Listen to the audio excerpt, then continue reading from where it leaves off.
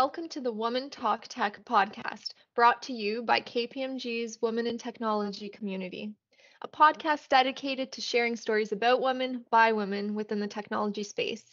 I'm Anita Taleski, project manager of KPMG's Women in Technology community, and your host for today's episode. Today, I am so excited to officially kick off this podcast. The community has been thinking about creating this podcast for quite some time, so it's great to finally see it come to fruition. And with that said, what better topic to kick off episode number one than to chat with a member of our community who has been with us from the beginning? My guest today is Frances MacTaggart, a cybersecurity consultant at KPMG who is passionate about advocating for women in technology. Frances, how are you? Hi, Anita. I'm doing great. I'm vaxxed and relaxed, uh, as much as I'm sure the world would like to get there soon, and we're on our way. Awesome. Well, let's start off by getting to know you a bit more. Tell us a little bit about yourself. Yeah, so as you said, I am a cybersecurity consultant at KPMG. I've been with the firm for about two and a half years now, and it's been a wild ride in education in and of itself before I joined the firm, I was actually hired out of my master's program. I got my master's in disaster and emergency management, and then have been slowly attaining more education as I go along because I'm an education junkie. So I have certificates in risk management and various uh, designations within cybersecurity. So, how did you get involved or start your career in cybersecurity? This is actually a great question because I believe I'm not part of the norm, which you would think of traditionally. You go into school, you then do an internship, and then you get into the job market and then search for your career. So, how I got into cybersecurity was I was interested in doing consulting after my master's degree. And I wanted to do it not so much in cyber, but in business continuity. But I was always interested in cybersecurity because in my degree, it was one of the largest risks in the world to date. And it was going to continuously increase in severity over the next 10 years by projection. So, I decided to reach out to a couple of people and just emailed and got got an email to an email to an email to an email to my cybersecurity partner today.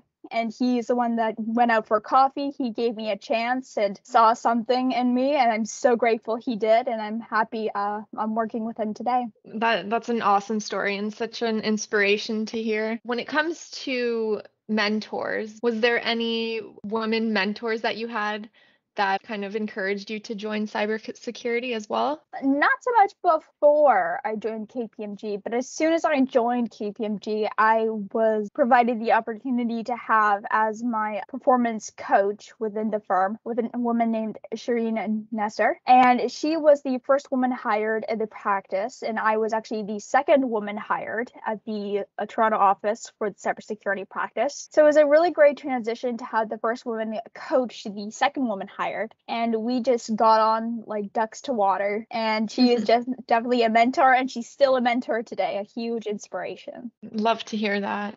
So mm-hmm. before the kpmg women in technology community was created frances you played an important role in kpmg's women in cyber network. So tell us yeah. why why did you initially join that network? Well the funny thing is is that I didn't necessarily join that network. I was part of the creation of that network. So again, it was me and Shireen, we were talking at a coffee shop one day and we just thought that, you know, there's only two of us, but however, there are so many talented women in cyber and not just cyber, but in technology. And it was kind of very interesting to hear that there was only two of us at the time. Now we've grown for our own personal team and also with this community. So we decided to create a women in cyber community at KPMG to try to reach out not only internally to get more women maybe interested in joining the cyber team, but also to reach out to local organizations and host events to get them exposure and also to try to see if anybody would like to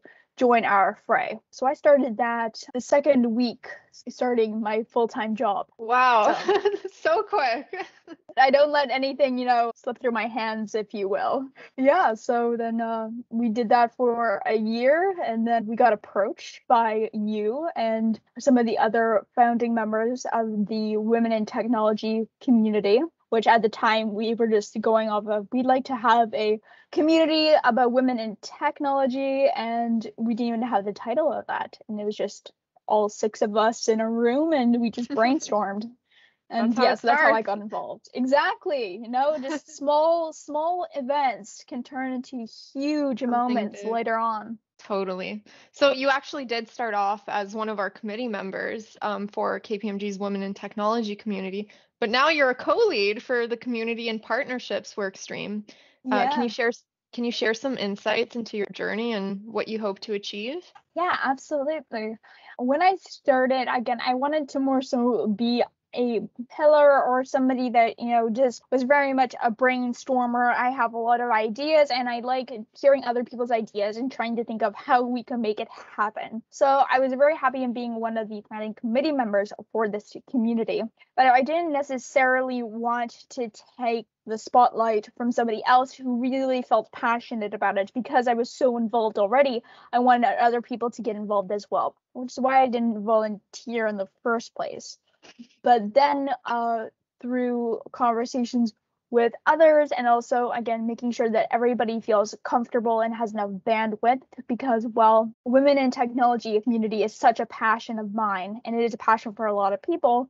Passion you need to make sure that you are taking care of yourself physically mentally and emotionally to be able to you know promote and pursue your passion. It was kind of through a course of that where i was able to raise my hand and stand up and i'm so happy i did. In terms of what i'd like to achieve uh, i started the women in, in technology mentorship program and i'd like to see that evolve and grow uh, not just internally but also externally and then also develop more relationships with people in our community outside of our firm because i think that that's where the most growth can occur Well, let me just say that you are a true inspiration and you inspire other people as well. So I have one last question for you. yes What's one piece of advice you'd give to someone who might be considering pursuing a role in cyber? Ooh, that's a good question.